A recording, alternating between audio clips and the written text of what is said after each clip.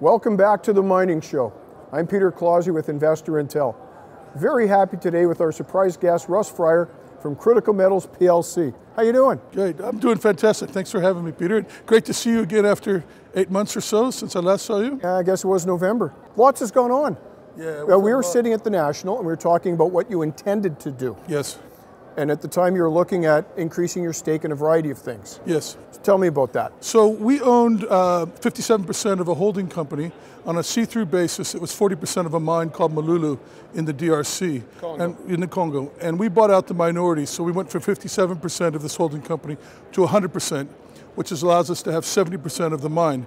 This mine is highly cash flow generative on the copper and cobalt basis. So in theory or in practice? In practice, because we went into production the third week of January of this year, and we're probably the only small cap, micro cap uh, company listed in London that's been able to do a transaction and six months later put that transaction into cash flow production. Congratulations, man. Getting into production is such a great feeling. Oh yeah, no, and particularly, you know, we're sitting in London, so it's almost the other side of the world, and to be able to have a, a strong team led by John Hreff and Lloyd Kirtley on the ground, just managing and captaining us through into production, it's, it's been phenomenal. I'm going to guess that the other 30% is owned locally or by the government. It's owned locally. We have a clause in there that we dilute down on a pro rata basis to give the government 10% once we go from a small scale mining license to a, a PE or a big boy license, right. where Glencore and Barrick's and Ivanhoe's are.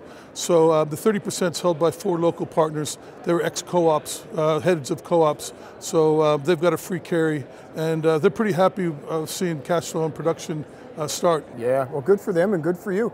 And I thought you traded on the AIM, but you're actually on the London Stock Exchange. Standard. So it's uh, it's the big person exchange where uh, the big mining houses like Glencore and Anglo and Rio and BHP are all located.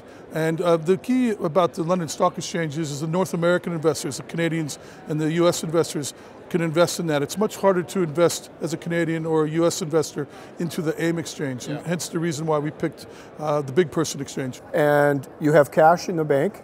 Yes, we have 900,000 pounds of cash and about 24,000 pounds of debt, so basically debt free.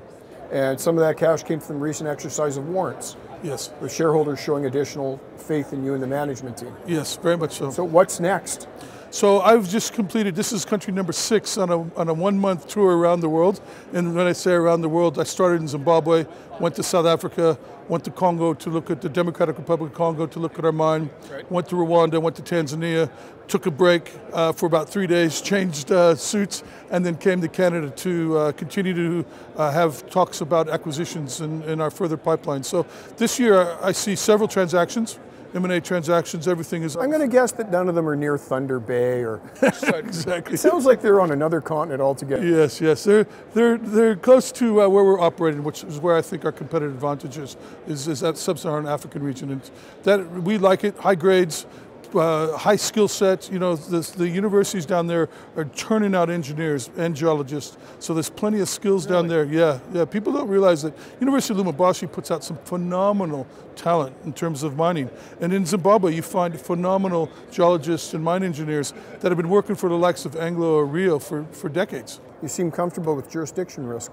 Yes, well, as I have said in the past, you know, I see a lot more jurisdictional risk in places like the U.S., where you can't get Pebble in Alaska funded, you can't get Twin Metals in Minnesota funded, you can't get Resolute in Arizona funded, you can't get Coles Hill in Virginia funded.